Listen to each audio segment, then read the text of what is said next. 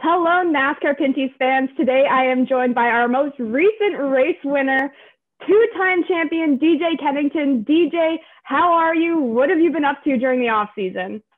Oh, we've been busy. I mean, uh, what else was there to do except work? You're not allowed to go anywhere. So uh, we've just been in the shop a lot, uh, trying to get cars ready, trying to, uh, you know, stay ahead of the game. I think a, a lot of the time for a season uh, preparation uh, to have a good season. It, it, happens in the winter. So hopefully uh, we've done our homework and uh, we've had lots of time in the shop. So there's no excuses of why things shouldn't be ready. So you recently announced that you would be welcoming a new associate partner to the series this season, Spark Power. How did that deal come about? Well, my crew chief, Rick Verburn, uh, has been associated with Spark Power for a few years now and uh, running the Superstock, Ontario Superstocks with Spark Power as a sponsor. And uh, they've been helping me a little bit. They helped me go down south and race. Um, they were on my car when I raced the Cup race in Martinsville and and so on. Uh, they're local here in London uh, based, and then I mean they're obviously all across Canada. Uh, a great company. Um, very fortunate to have them. Rick brought them to me, um, wanting to step up and possibly run a late model program instead of running the super stock. So I'm fortunate enough to have a late model here. We've built a brand new WMI car for me for this year for the late model program and then uh, Rick's going to run the uh, APC car at least four times for me this year, and um, it kind of tied all together. So with bringing that late model program into DJK Racing, it brought Spark Power into the Pinty's Series with us, and uh, hopefully we're uh, going to have a long-term relationship and get them the exposure they want, and uh, try to get them in victory lane. Well, we love seeing new sponsors in the series, so it is super exciting to hear that they'll be on your car for the 2021 season. But before we get to some of the upcoming races, let's take a look back because you had a pretty impressive 2020 season, as short as it was. Um, I was looking at your stats today. Maybe you can explain this. You drew first place, starting position, three out of the six races. That's a pretty lucky draw there, DJ. Absolutely, absolutely. Um, you know, it's uh, it's uh, it's nice starting up front. We drew number one at sunset, and that was kind of a waste. Uh, we were absolutely awful. Uh, no excuses except myself. Uh, we tried a bunch of stuff that uh, we thought in our brains was going to work really, really good. And um, when I got behind the wheel, it worked really, really bad. So um, I, I, wasn't uh, kind of wasted the pole position there. I don't think I was in the lead for about 30 feet. So um, I, like I say, having the luck of the draw was real good. Um, it helped us at a lot of places and uh, it's kind of fun. It's exciting. I mean, you know, I, I, was getting so used to drawing number one. Then when I, I the last year cast, I drew 16. I was kind of really, really upset. So that was a payback, I think. Oh yeah, we'll we'll get into Jukasa because you were super fast there, and that 16 starting position didn't stop you whatsoever. But let's start at Sunset. you started fourth and sixth there, or sorry, you finished fourth and sixth there. Still decent starting positions considering the struggles you just mentioned. Um, what struggles did you have, however, going from a prolonged off season to a very little testing and then going straight back into racing? Uh, you know, it, it, wasn't. I mean, I think most people or most racers are. Um, we we adapt. Um, everybody's done it their whole lives. Most people, and uh, either that or your crew members and people you lean on everybody because everybody's uh, done this for a long time. So, I mean, there was real no transition for us. It was exciting to be back. It was great. Um, we had too much time to think, I think, in the off season. So we, we, we tried a whole bunch of fancy stuff that we thought, man, we're really going to show these guys now. And um, it was awful. Uh, we just missed it. 100% missed it. And we tried changing everything between the first race and the second race as much as we could to try to get back to what we knew. And it still was awful. Uh, the second race was almost worse than the first one, but uh, with Rex and, and all the baiting and banging going up front and just keep keep trying, keep plugging away at it. We were able to get two solid finishes out of it. And uh, really, we didn't deserve either one of them the way we ran. And it was really disheartening. Uh, I don't like doing that, obviously, with sponsors and so on. But if you don't try things, you, you never advance. So we certainly didn't advance there, but we certainly learned that we shouldn't go in that direction. So um, it, it, was, it was a tough day. Uh, everything was in one piece, which was good. And we were able to come home, regroup, and uh, get ready for Flamborough. Yeah, considering after the first race, a lot of cars weren't in one piece or were missing noses or quarter panels or like half of their bodies pretty much. And also trying to change things in between first and second. You had an hour, DJ. There was only an hour yes. in between the first and second race. You can only change so much. Exactly. We did everything though. I mean, we changed springs. The boys worked hard. We changed springs. We changed weight. We changed shocks. We changed the sway bar. We changed everything we possibly could, and it didn't change anything. So uh, I I told them about lap four. I was like, well, sorry guys, this is going to be a long night. So, but uh, like I say, we we kept fighting. The guys did a great job, and uh, you know, when you have a great sponsor like Castrol on board that's been with me since time.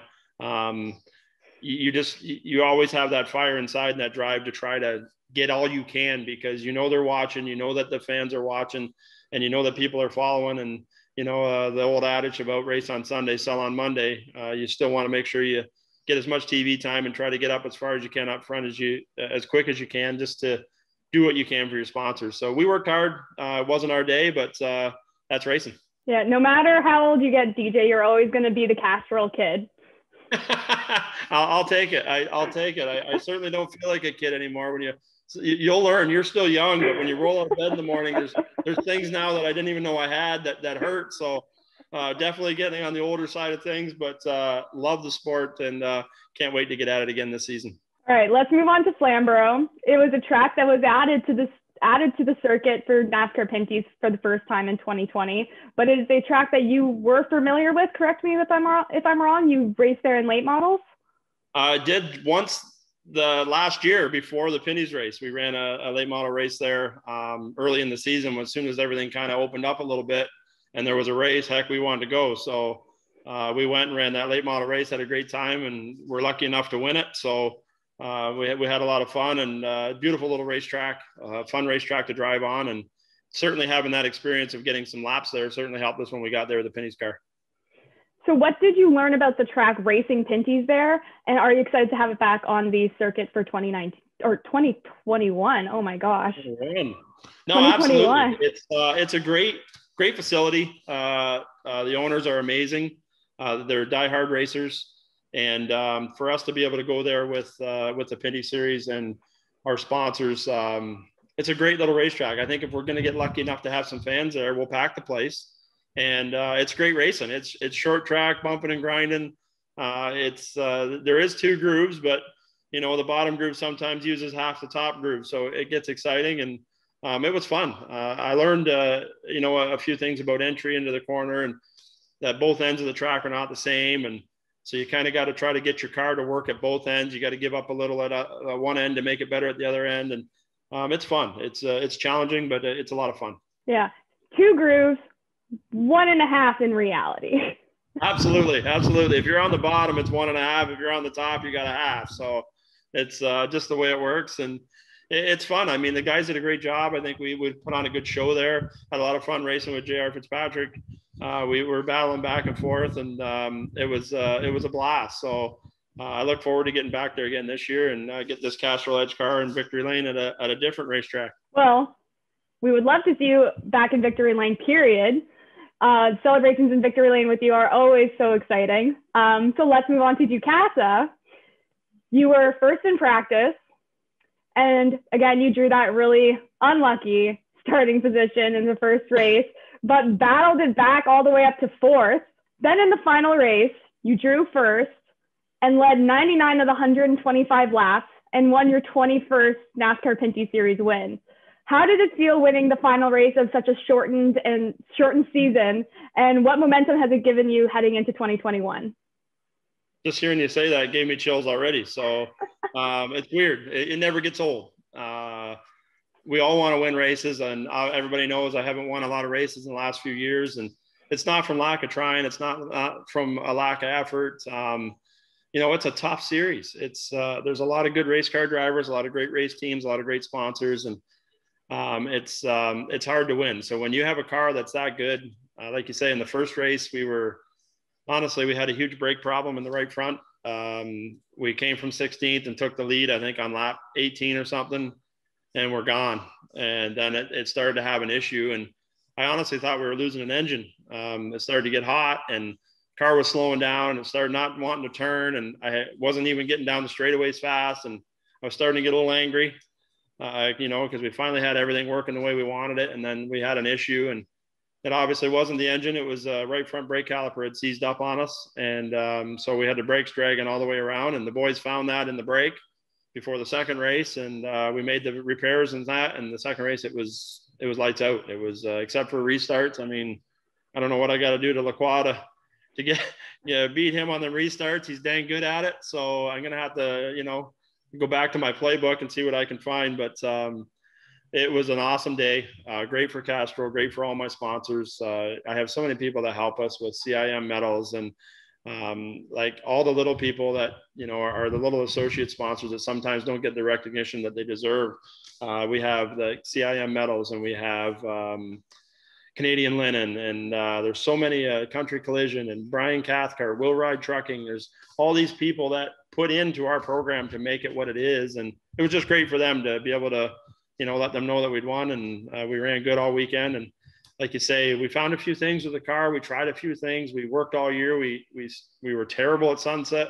We were decent at Flamborough, and we were great at Jukasa. So hopefully, fingers crossed, going into this season, we're ready to rock and roll at Sunset on day one that progression over just three weekends and six races put it into a full season it's we're going to see you in victory lane hopefully more than once this season i really hope you're right Caitlin. i really do um, there's a lot of great competition i mean three car last year had his stuff together from day one and um, we all kind of we got we caught up a little bit and we were competitive and, and it was a race at the end and at the start of the season though they came out of the blocks they were the ones to beat and and I think that's what you got to do. You got to try to come out come out early and and uh, set the tone and get the ball rolling. So, final question: You've shown everyone the last three seasons that you are still very dominant and a very strong contender for race wins. But what do you have to do, and what do you have to change to win championship number three? Consistency has been there. Um, just overall speed. Uh, we've got to we've got to keep. Uh, keep on our, our race cars, keep on adjusting, keep on. I'm I'm a little old school, so I get in a, a, groove where you don't want to get outside the box a little bit, and sometimes you have to. And when I went way outside the box at sunset, it was awful, so it, it spooked me. So you know, you kind of go back to again what you know, and uh, sometimes you just got to try different things. And we worked really hard over the winter just on on chassis stuff and trying to make the cars a little bit better if we can, and there hasn't been a lot of rule changes, so there's not a whole lot you can do. But uh, we worked hard at it, and hopefully we can come out of the box early. I think that's the whole key. If we can get at sunset, and you know what, I'm not gonna lie, everybody, I'm not good at sunset. Okay, I never have been. I don't know why. It's it's eluded me, but I don't give up trying, and I keep saying that I really don't like that racetrack. But the best way to change that is to go there and win. Only takes one race to win there for it to change your whole perspective of it. That's right. Well, DJ, thank you so much for joining us today, and we will see you at the racetrack very soon. Thank you. Appreciate it, Caitlin.